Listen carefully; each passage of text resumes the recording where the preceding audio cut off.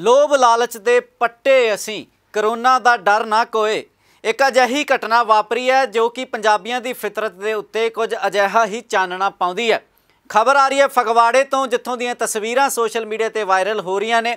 ਉੱਥੇ ਇਕੱਠ ਹੋਇਆ ਕਰੋਨਾ ਹਦਾਇਤਾਂ ਦੀਆਂ ਧੱਜੀਆਂ ਉਡਾਈਆਂ ਗਈਆਂ। ਸਾਰੀ ਰਾਤ ਲੋਕ ਸੜਕਾਂ ਦੇ ਉੱਤੇ ਹੀ ਖੜੇ ਰਹੇ ਤੇ ਜਿਹੜੀਆਂ ਬੀਬੀਆਂ ਅਕਸਰ ਸਰਕਾਰ ਕੋਲੋਂ ਗੁਹਾਰ ਲਾਉਂਦੀਆਂ ਨੇ ਵੀ ਰਾਤ ਨੂੰ ਅਸੀਂ ਬਾਹਰ ਨਿਕਲਣ ਲੱਗਿਆਂ ਸੁਰੱਖਿਅਤ ਮਹਿਸੂਸ ਨਹੀਂ ਕਰਦੀਆਂ, ਉਹ ਵੀ ਪੂਰੀ ਰਾਤ ਇੱਕ ਭੀੜ ਬੀਬੀਆਂ ਦੀ ਇਕੱਠ ਕਰਕੇ ਖੜੀ ਰਹੀ।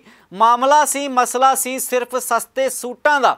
ਹੁਣ ਸ਼ੌਕੀਨ ਤਾਂ ਸੁਣਿਆ ਹੋਇਆ ਵੀ ਬੀਬੀਆਂ ਸ਼ਾਪਿੰਗ ਦੀਆਂ ਹੁੰਦੀਆਂ ਨੇ, ਪਰ ਇੰਨੀਆਂ ਹੁੰਦੀਆਂ ਨੇ, ਇਹ ਤਾਂ ਹੁਣ ਪਤਾ ਲੱਗਿਆ।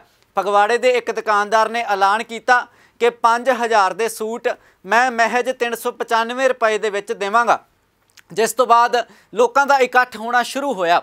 ਸਿਰਫ ਪੰਜਾਬ ਹੀ ਨਹੀਂ, ਹਰਿਆਣਾ ਹੀ ਨਹੀਂ, ਹੋਰਾਂ ਵੀ ਕਈ ਰਾਜਾਂ ਤੋਂ ਬੀਬੀਆਂ ਚੱਲ ਕੇ ਫਗਵਾੜੇ ਪਹੁੰਚੀਆਂ, ਜਿੱਥੇ ਉਹਨਾਂ ਨੇ ਸਸਤੇ ਸੂਟਾਂ ਲੈਣ ਲ- ਵਾਸਤੇ ਲਾਈਨ ਲਾ ਦਿੱਤੀ। ਹੁਣ ਦੁਕਾਨਦਾਰ ਨੇ ਸਿਰਫ 3 ਤੋਂ 5 ਦਾ ਸਮਾਂ ਮਿੱਥਿਆ ਸੀ, ਜਿਸ ਦੇ ਵਿੱਚ ਇਹ ਸੇਲ ਚੱਲੇਗੀ। ਪਰ ਇੱਕ ਦਿਨ ਪਹਿਲਾਂ ਹੀ, ਇੱਕ ਸ਼ਾਮ ਪਹਿਲਾਂ ਹੀ ਬੀਬੀਆਂ ਦਾ ਇਕੱਠ ਹੁਮੜਨਾ ਸ਼ੁਰੂ ਹੋ ਗਿਆ ਤੇ ਜਦੋਂ ਮੌਕਾ ਆਇਆ ਤਾਂ ਭੀੜ ਇੰਨੀ ਕੁ ਵੱਧ ਚੁੱਕੀ ਸੀ ਵੀ ਦੁਕਾਨਦਾਰ ਸ਼ਟਰ ਬੰਦ ਕਰਕੇ ਉੱਥੋਂ ਭੱਜਦਾ ਨਜ਼ਰ ਆਇਆ। ਉਸ ਤੋਂ ਬਾਅਦ ਵੀ ਭੀੜ ਨੇ ਹੰਗਾਮਾ ਕਰ ਦਿੱਤਾ ਵੀ ਅਸੀਂ ਇੰਨੀ ਦੂਰੋਂ ਚੱਲ ਕੇ ਆਏ ਆ ਸਾਨੂੰ ਸੂਟ ਨਹੀਂ ਟੱਕਰੇ, ਦੁਕਾਨਦਾਰ ਵਾਅਦੇ ਤੋਂ ਮੁੱਕਰ ਰਿਹਾ। ਫਿਰ ਇਹ ਭੀੜ ਉੱਥੋਂ ਹਲਣੋਂ ਨਾ ਕਰ ਗਈ। ਉੱਥੇ ਰਸ਼ ਹੋ ਗਿਆ। ਸਕੂਟੀਆਂ, ਮੋਟਰਸਾਈਕਲ ਡੇਗ ਦਿੱਤੇ ਗਏ।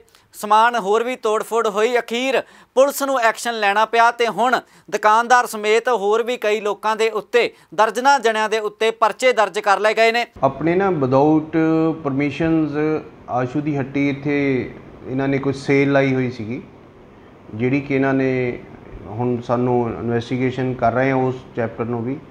ਇਹਨਾਂ ਨੇ ਕੋਈ ਆਪਣੀ ਸਾਈਟ ਬਣਾਈ ਹੋਈ ਇਹਨਾਂ ਦੀ। ਉਹਦੇ ਤੇ ਇਹਨਾਂ ਨੇ ਐਡ ਪਾਈ ਹੋਈ ਸੀ ਵੀ ਸੇਲ ਲੱਗ ਰਹੀ ਆਸ਼ੂ ਦੀ ਹੱਟੀ ਵਿੱਚ ਤੇ ਉਹਦੇ ਵਿੱਚ ਬਹੁਤ ਸਾਰੇ ਲੋਕ ਪੰਜਾਬ ਤੋਂ ਪੰਜਾਬ ਤੋਂ ਸੁਣਨ ਚ ਆਇਆ ਵੀ ਪੰਜਾਬ ਤੋਂ ਬਾਹਰਲੇ ਵੀ ਬਹੁਤ ਸਾਰੇ ਲੋਕ ਲੇਡੀਜ਼ ਉਸ ਸੇਲ ਦੇ ਵਿੱਚ ਸ਼ਾਮਲ ਹੋਏ।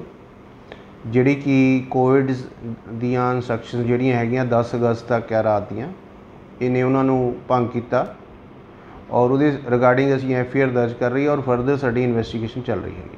ਸਰ, ਜੇ ਦੇਖਿਆ ਜਾਵੇ ਤਾਂ ਉਲੰਘਣਾ ਲੈ ਕੇ ਪਹਿਲਾਂ ਵੀ ਸਰਕਾਰੀ ਉਲੰਘਣ ਲੈ ਕੇ ਪਹਿਲਾਂ ਵੀ ਮਾਮਲੇ ਦਰਜ ਆ।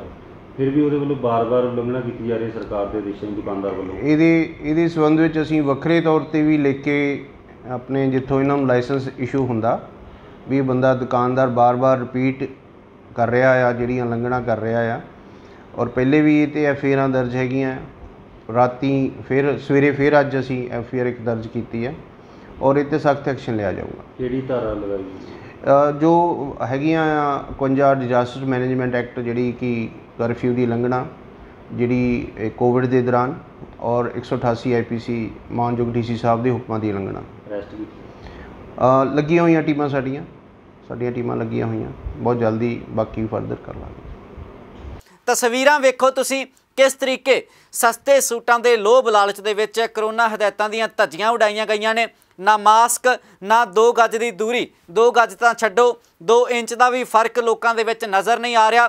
ਕਿਸੇ ਟਾਵੇਂ ਟਾਵੇਂ ਨੇ ਹੀ ਮਾਸਕ ਪਾਇਆ ਹੋਇਆ। ਹਰੇਕ ਕਰੋਨਾ ਹਦਾਇਤ ਦੀ ਧੱਜੀਆਂ ਉਡਾਈਆਂ ਗਈਆਂ ਨੇ। ਸੋ ਇਹ ਸਾਰੀ ਘਟਨਾ ਜਿਹੜੀ ਹੈ, ਸੋਸ਼ਲ ਮੀਡੀਆ ਤੇ ਹੁਣ ਵਾਇਰਲ ਹੋ ਰਹੀ ਹੈ, ਤਸਵੀਰਾਂ ਵਾਇਰਲ ਹੋ ਰਹੀਆਂ ਨੇ। ਸ਼ਾਇਦ ਇਹੀ ਕਾਰਨ ਹੈ ਕਿ ਜਦੋਂ ਕੌਮਾਂਤਰੀ ਪਾਰਟੀਆਂ ਦੇ ਸਿਆਸੀ ਆਗੂ ਵੱਡੀਆਂ ਸਟੇਜਾਂ ਤੋਂ ਚੜ ਕੇ ਵੱਡੇ ਵੱਡੇ ਵਾਅਦੇ ਕਰਦੇ ਨੇ ਜਾਂ ਫਿਰ ਇਲੈਕਸ਼ਨਾਂ ਵੇਲੇ ਸ਼ਰਾਬ ਦੀਆਂ ਬੋਤਲਾਂ ਤੇ ਵੋਟਾਂ ਖਰੀਦ ਲੈਂਦੇ ਨੇ, ਤਾਂ ਫਿਰ ਫਿਤਰਤ ਲੋਕਾਂ ਦੀ ਅਜਿਹੀ ਹੀ ਹੈ। ਮਨੋ ਸ਼ਾਇਦ ਲੋਭ ਤੇ ਲਾਲਚ ਨੇ ਹੀ ਸਾਨੂੰ ਖਾ ਲਿਆ।